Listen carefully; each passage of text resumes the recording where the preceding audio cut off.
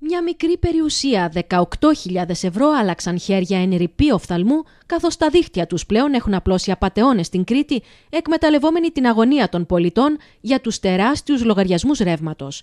Με πανομοιότυπο τρόπο, όπως και στις προηγούμενες περιπτώσεις, άνδρας προσποιήθηκε το λογιστή 58χρονη στο Ηράκλειο και την προσέγγισε τηλεφωνικά με επιχείρημα δίθεν επιδότηση ρεύματος 600 ευρώ. Οι πολίτες θα πρέπει να εμπιστεύονται το λογιστή τους και μόνο το λογιστή τους ανθρώπους που γνωρίζουν προσωπικά και συνεργάζονται χρόνια. Ο μαϊμού λογιστής ζήτησε από το θύμα του να μπει μέσω e-banking στον τραπεζικό λογαριασμό. Ωστόσο, η 58χρονη σίγουρα δεν φανταζόταν ότι μέσα σε δευτερόλεπτα 18.000 ευρώ θα έκαναν φτερά.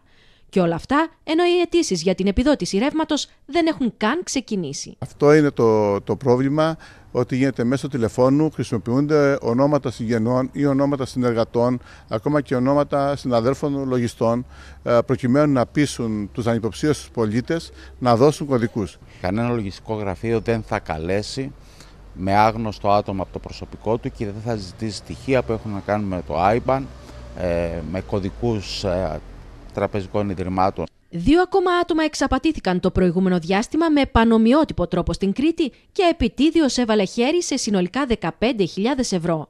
Με αριστοτεχνικές κινήσεις, επιτίδιος που δρούσε από το Αγρίνιο, φρόντισε να κάνει 20 συνολικά τηλεφωνήματα και να γίνει ιδιαίτερα επίμονος, απέσπασε απόρριτες πληροφορίες και στη συνέχεια και το μεγάλο ποσό ότι είναι ο λογιστής για το επίδομα του ρεύματος της ΔΕΗ, νομίζω, ήταν αυτή η δικαιολογία τους. Είναι ένα έγκλημα το οποίο βρίσκεται ε, σε έξαρση το τελευταίο διάστημα και το βλέπουμε όλοι καθημερινά. Όλοι έχουμε έναν φίλο, έναν συγγενή, ένα στο οικογενειακό μας περιβάλλον που έχει εξαπατηθεί από αυτούς τους δράστες. Ο άνδρας υποστηρίζει ότι λειτουργούσε με την καθοδήγηση άλλων προσώπων και ότι ποτέ δεν εισέπραξε τα χρήματα που συμφωνήθηκαν.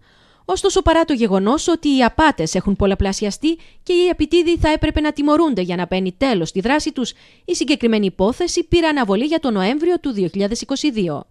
Παράλληλα, αυτό που προβληματίζει είναι το γεγονός ότι οι επιτίδοι όχι μόνο δρούν μεθοδικά, αλλά και φροντίζουν να μεταφέρουν τα χρήματα από λογαριασμό σε λογαριασμό για να χάσουν οι αρχές τα ίχνη τους.